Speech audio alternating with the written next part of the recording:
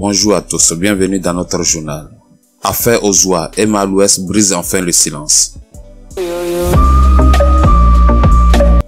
La grande complicité entre Emma Louest et Ozoa s'est écroulée du jour au lendemain.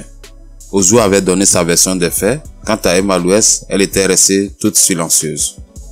Mais ces derniers temps, Emma Louest a fini par briser le silence le vendredi dernier en donnant enfin sa version des faits. Elle a rapidement indiqué qu'il n'y a pas de feu dans la demeure entre elle et Ozoa. Elle considère d'ailleurs Ozoa comme sa petite sœur.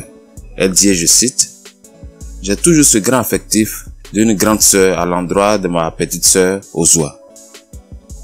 C'est mon gros bébé, c'est ma petite sœur. D'aucuns pensent qu'il y a des histoires, mais non, a-t-elle souligné. Mais en tout cas, ces explications n'ont pas convaincu les internautes. Par ces propos, certains internautes pensent qu'elle s'est débarrassée de la question.